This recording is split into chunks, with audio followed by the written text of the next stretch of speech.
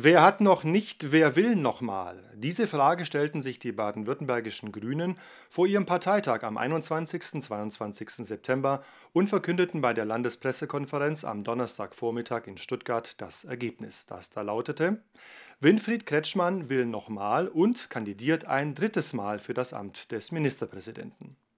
Leicht hat sich Winfried Kretschmann die Überlegung, ob er ein weiteres Mal für den Posten des Ministerpräsidenten kandidieren soll, nicht gemacht. Im Vorfeld habe er sich von politischen Weggefährten, privaten Freunden und natürlich seiner Familie, insbesondere seiner Frau, Rat eingeholt. Jedenfalls will ich insofern sagen, dass meine Frau schließlich gesagt haben, mach das nochmal. Aber auch von seinen Parteikolleginnen und Kollegen erhält Kretschmann vehementen Zuspruch. Ja, ich darf äh, für die Landespartei sagen, dass wir uns von ganzem Herzen freuen, dass äh, Winfried Kretschmann nochmal kandidiert.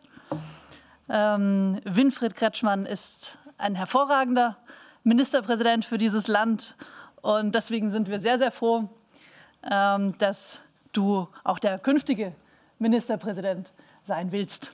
Diese Einschätzung teilen nicht alle. Insbesondere das hohe Alter des derzeitigen Ministerpräsidenten wurde wiederholt thematisiert. So bemerkte FDP-Fraktionschef Hans-Ulrich Röke, dass Kretschmann bei einer weiteren vollendeten Amtszeit 78 Jahre alt sei und man sich somit auf fünf Jahre Kretschmann nicht verlassen könne. Kretschmann beantwortete die Frage zu seinem Alter folgendermaßen. Alter hat eine lange Zeit eine Rolle gespielt, davon bin ich abgekommen. Man muss sich aber fit fühlen für dieses Amt, das heißt in der Lage sein, es körperlich und geistig äh, zu führen. Und äh, den Eindruck habe ich mir jedenfalls mal von mir selber.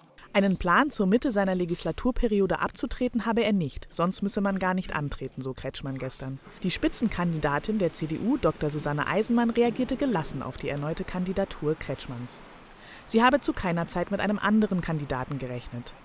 Weniger gelassen reagierten SPD und Die Linke.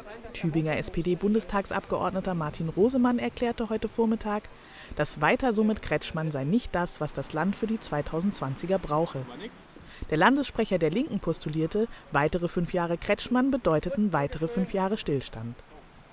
Die Alternative für Deutschland ließ vermelden, man habe emotionslos auf die Neuigkeiten reagiert.